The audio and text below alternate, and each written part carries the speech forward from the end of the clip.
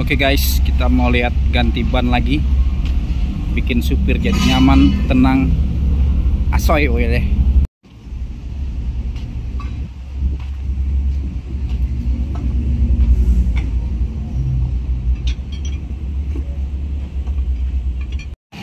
Semua diganti karena kondisi bannya kayak gini nih.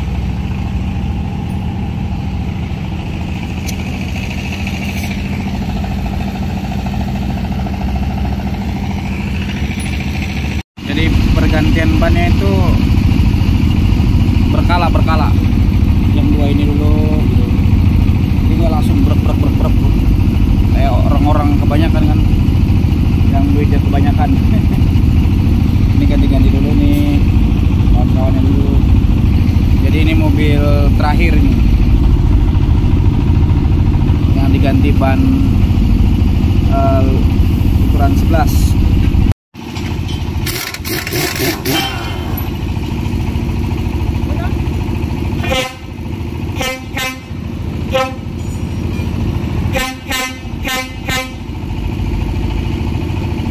total semua unit udah diganti ban 11 yang seri 360 nya.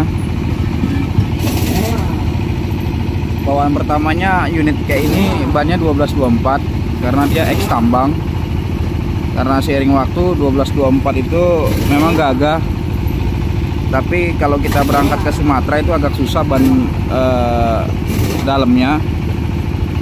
Jadi kita ganti ban 1220 ternyata ban 1220 memang bagus cuma harganya juga lumayan sama hampir mendekati 1224 dan untuk ban dalamnya juga agak susah teman-teman. Makanya akhirnya ujungnya ganti pakai ban 11 yang di mana kepala Quester dan Hino sekarang pakai ban 11 dan ini agak gampang sih di Sumatera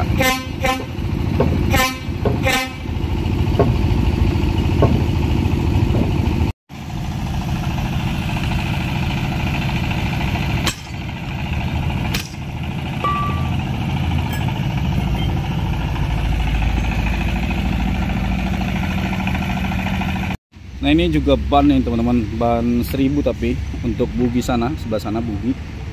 Ini ban 1000 ini baru juga semua. Oh. jadi memang eh, persiapan buat ban itu boleh lah. Memang ada beberapa komen bilang ban baru tapi uang jalannya gini-gini. Nah so tahu kan yang komen tuh kita nggak bisa apple to apple teman-teman. Nggak bisa bandingin perusahaan A dengan perusahaan B nggak bisa. Semua punya style masing-masing. Tapi kenyamanan driver itu harus diutamakan. Apa gue bilang kita nggak bisa bandingin apple to apple atau perusahaan A perusahaan B A B itu C D E nggak bisa. Karena setiap perusahaan punya e, caranya membayarnya masing-masing jadi kalau kita lihat e, betah ya berarti bagus. Itu aja kuncinya lihat supirnya betah lama gitu berarti bagus teman-teman. Kadang-kadang bukan dari nilai gajinya tapi nyamannya teman-teman. Nih geng warso yang tadinya udah keluar balik lagi teman-teman. Nah, awas ditelan sama dia. Nah ini driver-driver yang mau berangkat ini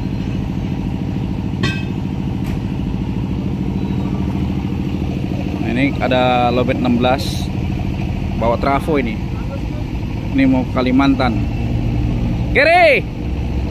Wah Gary dan Warso is come back.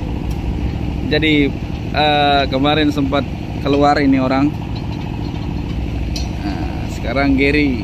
Gary jadi orang paling senior. Ngambek dia kan ngambek. Kita samperin teman-teman. Nah nih jadi kepala gudang dia. Mantep ya. No senior. Pak Giri ngapain ini? Hah? ini ngapain? Barang keluar masuk barang baru barang semua pokoknya dikontrol.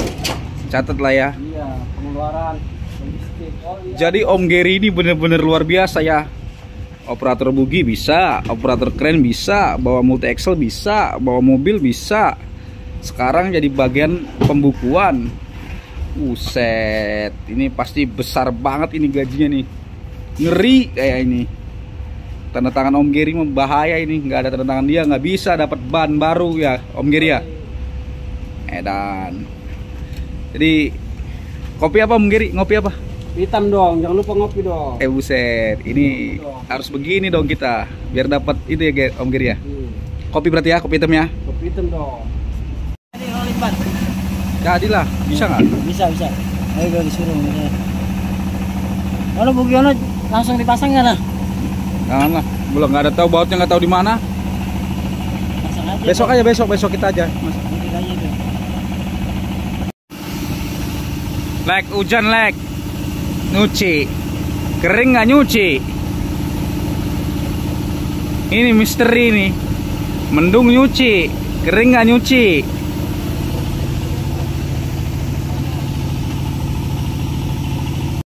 Nah ini udah dipasang ban eh, luarnya, gantinya ban luar, ban dalam, ban perut. Ini udah semua diganti nih. Jadi baru semua. Total ada 11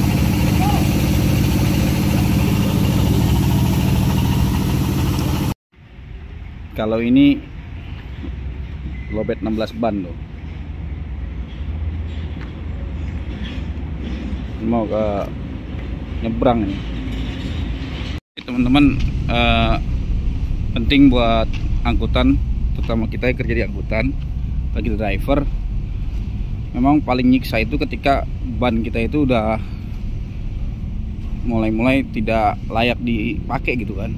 Tapi tetap harus jalan terus. Memang itu sih resikonya.